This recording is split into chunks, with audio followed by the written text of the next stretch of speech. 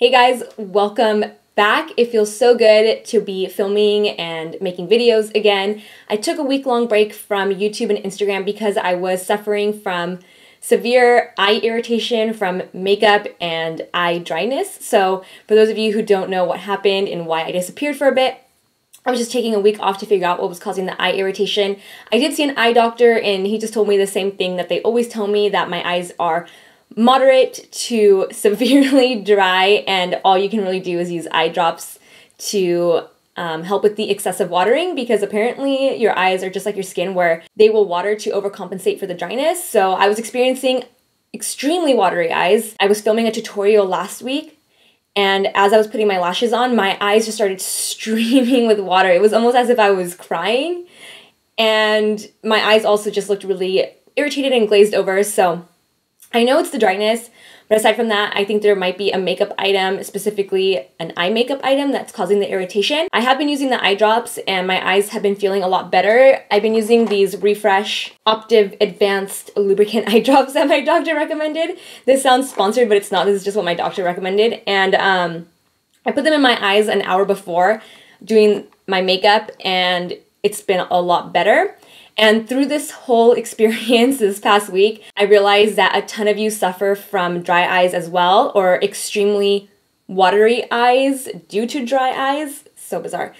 And I wanted to make today's video on how to do your makeup if you have watery eyes. And I just want to say thank you for those of you who have been trying to help me out with this situation. I really appreciate your guys' support and just kind of um, trying to give me suggestions and tips and just really trying to help me out. I really appreciate that because I know it sounds almost as if I'm making a big deal out of it, but when your job is to put makeup on every single day, sometimes multiple times in a day, it can be really frustrating when you feel like you can't successfully put your makeup on or actually look good with makeup on. So this video is going to be extremely chatty and possibly long. So if you're one of those people that have commented that I talk a little too much, this might be a good time for you to click out of this video. And for those of you who have extremely watery eyes, I hope my tips help you out when doing your own makeup. So if you're interested, keep on watching.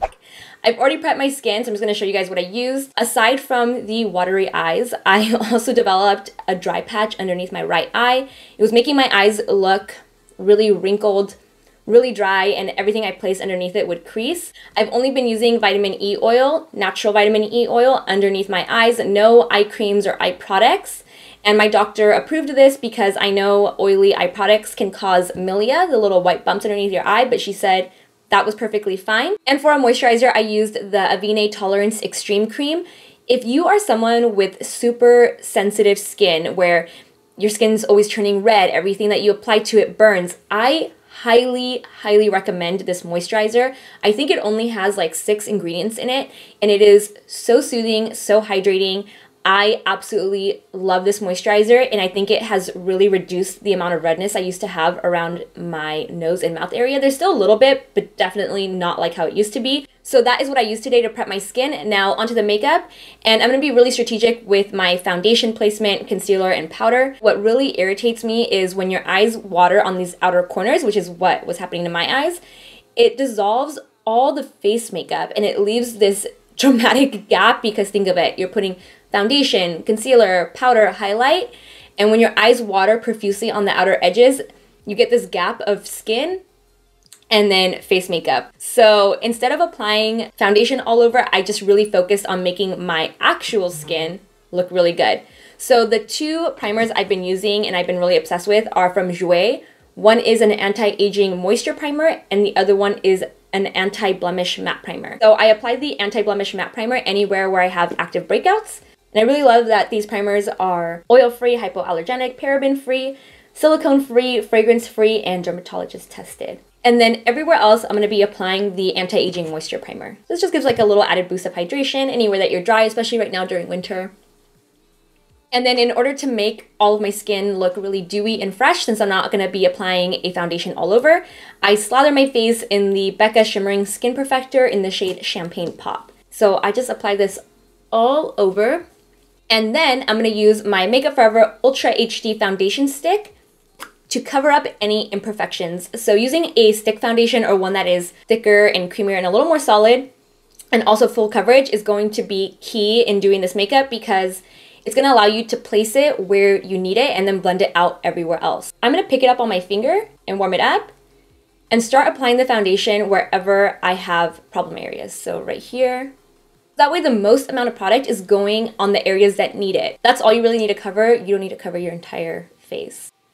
I always like to place it right here because of my sunspots. And then I'm just to blend it out. And then I try to avoid this area, but I am to take whatever foundation is left over on the brush or sponge and apply it underneath my eyes and on the lids. Why is Mika's fur is seriously flying around everywhere? And there you have it. I just blended the full coverage foundation everywhere else, but the amount of foundation on the other areas of my skin is actually really light. It's not a really thick layer, which is gonna be great for when your eyes water on those outer corners.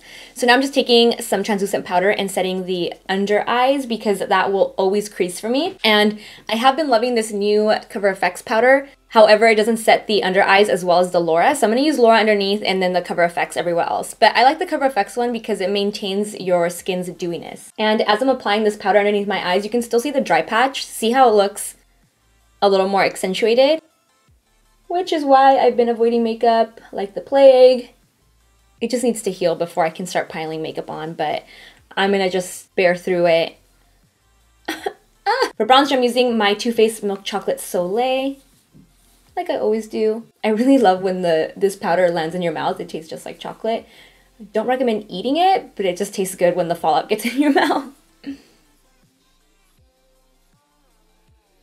And to further chisel everything out, I'm using my Kevyn Aucoin Sculpting Powder in Light. I always like to apply this right in the hollows of the cheeks and the sides of the nose. And then don't worry about it looking kind of crazy right now because I'm going to use translucent powder to really blend this out and make it look a little more decent. It's looking pretty orange right now, or just like a lot of bronzer.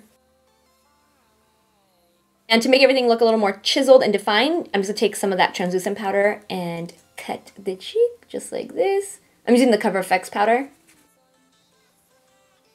And normally I wouldn't highlight now, but the way I've been doing my eyeshadow doesn't have any fallout, so it won't get messy. And also I like when the highlight goes over the brow bone, so I'm gonna go ahead and apply it now. I'm using the Make Up For Pro Light Fusion Highlighter in shade 02, which is the gold one. I'm just gonna apply it. The goal is to just have really fresh, dewy looking skin, so that is the focus and not the watery eyes. You can see I'm starting off with the high points of the cheeks and then when I go to apply it on the brow bone, I'm sweeping it over the brow and onto sort of like the temples, like right here. And I'm also going to go ahead and apply this to the inner corner.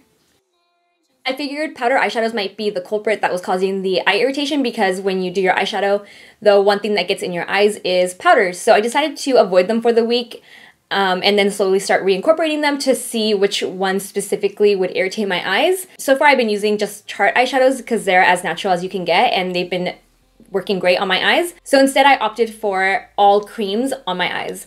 Um, this first product is something I've had for a while and just never thought to use it, but it's a cream eyeshadow in like a liquid form. So it makes it really easy to blend versus like the thicker, heavier, creamy eyeshadows, like the ones that come in a stick. Um, these are the Armani what are these even called? These are the Armani eye tints in the matte formula. I can't really think of a more affordable option that's like this product and matte. Most products that are a liquid like this are really shimmery, so I wish I had a cheaper option. I can't think of anything, but if you just use a cream eyeshadow, that'll work as well. It's just these are super easy to blend, which I will show you guys. So basically what I was doing was applying these to the lid and lower lash line and blending them out. That way they don't actually get in your eyeball like a powder would. I should have done one eye at a time. I got carried away. But you can just see how easily these blend out. They look like a regular eyeshadow. And I'm just going back and forth between each eye so that they don't dry. and then when it comes to the lower lash line, I would just pick it up from the applicator onto a flatter brush and then blend it onto the lower lash line. But isn't this color so pretty? This is shade number 23. And I like that they're completely matte, which is hard to find.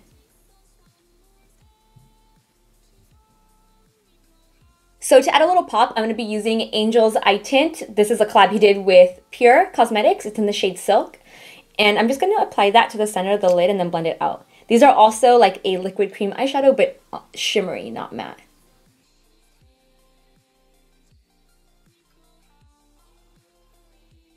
And that is it for the eyes. I'm just gonna work on my brows now. And first of all, I'm just gonna fill in the ends with my Precisely My Brow Pencil by Benefit in the shade 3. And the brow product I've recently been obsessed with and cannot put down. I've been getting a lot of compliments on the way I've been doing my brows lately, and I keep getting asked if I've been using the soap brow technique, which I have not. However, I am interested, I gotta try it out. But what I've been using is this Maybelline Brow Precise Fiber Volumizer. It does have a weird brush, I'm not gonna lie. Um, it took me a while to get used to. And this is the shade Deep Brown. So all I do is lightly comb through my brow hair. So not pressing hard and just, you know, skimming over the top of the brows. I don't know, I just really like the way it separates my brows and makes them look as if I did soap brows and makes them look bushier. I like mine brushed up, so if you don't like that, brush them straight through, but I like them going up and being fluffy and sort of untamed. And I'm just going to complete the rest of the face. This is pretty much it, but I am going to be adding mascara just at the very end. So now I'm just going to go ahead and add some blush. I'm using Tarte's Sensual. I've been loving this blush color. I've been using it a lot. I guess this wasn't a very chatty get ready with me. I guess you're supposed to tell a story. I don't know. I'm not used to these. I've only done like one other one, and it wasn't like a true get ready with me since I did a voiceover. Um, but I don't know what stories I have to tell aside from my eyes. I mean, I saw the eye doctor. Um, I'm gonna spritz myself with Fix Plus before doing lashes and a lip. And they just told me the same thing that they always say that my eyes are just really dry. And it's a really common thing here in California because we've been experiencing a drought. California is basically a desert now, is what he said and it's just a really annoying condition to have, which is really frustrating.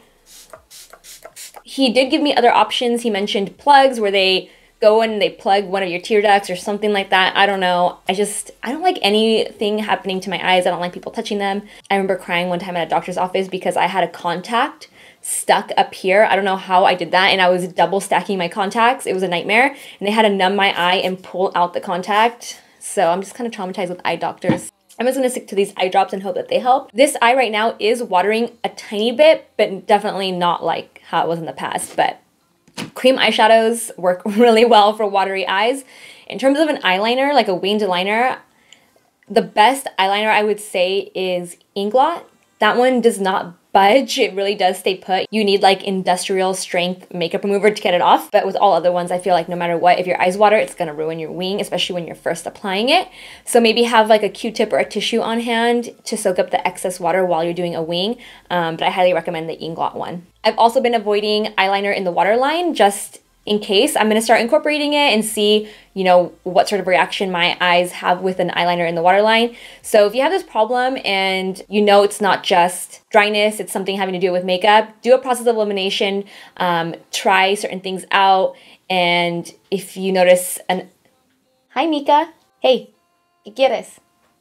You like when dad's not here because I let you in the backyard all the time, huh? Kyle doesn't like me leaving Mika in the backyard by herself because she always tends to get in some sort of trouble. She digs a hole, she runs in with muddy paws. You guys saw that snap story that one day. She dug a hole, got really muddy paws. I didn't notice. She came back inside and I just saw a track or like a mud trail going into our bedroom. And she was just on the white comforter, rolling around in it. There was mud everywhere. And this was the same day that I had three events to go to. I was already dressed, ready to head out the door. I had to take everything off, wash the comforter. It was a freaking nightmare. So it's not a good day. So ever since then, she's not allowed in the backyard by herself. But when Kyle's not in town, Mika gets away with it. So now I'm going to add mascara. And the mascara I've been using that hasn't irritated my eyes is Lights Camera Flashes by Tarte.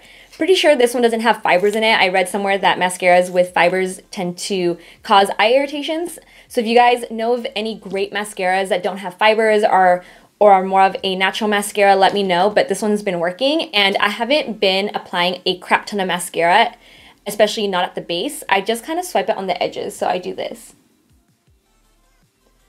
I know this is really hard for a lot of us to do who love um, really big, voluminous lashes and love false lashes, but false lashes definitely irritate my eyes. I know that for a fact. And also, um, I've been using the Tarte eyelash glue because that one is formaldehyde free, latex free.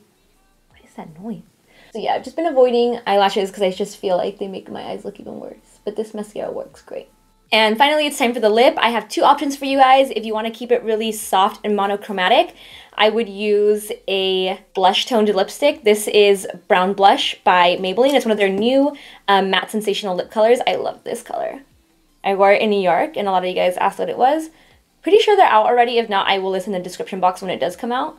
So this is lip option number one, very monochromatic, very soft and dusty. I really love this lip color. And then for another option, I'm gonna do a really vibrant, dark, vampy lip to kind of spice this up and make it more of an evening look. And this is lip option number two. This is Jade's collaboration with PÜR Cosmetics. So I have Angel on my eyes, Jade on my lips. This is the liquid lipstick in the shade Empress. And this is such a beautiful, deep plum, but it's a little more um, vibrant. It's just, I don't think I own a color like this. This is so pretty. Good job, Jade and Angel. These are amazing collaborations.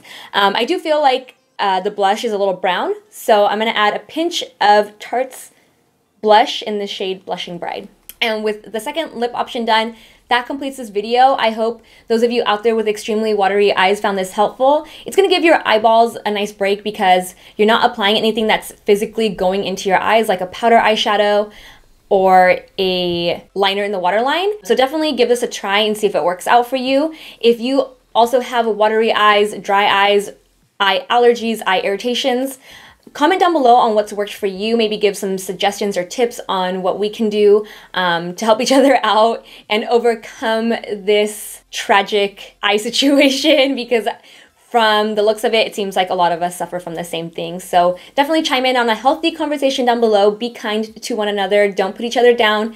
Anytime the topic is health related, I feel like people get really aggressive and defensive, but just engage in a healthy conversation with one another. We're just trying to help each other out. Again, I hope you guys enjoyed this video. Give it a thumbs up if you did. I will be going back to a normal filming schedule, so make sure to subscribe so you don't miss out on any of my upcoming videos. I will see you guys in the next one. Bye!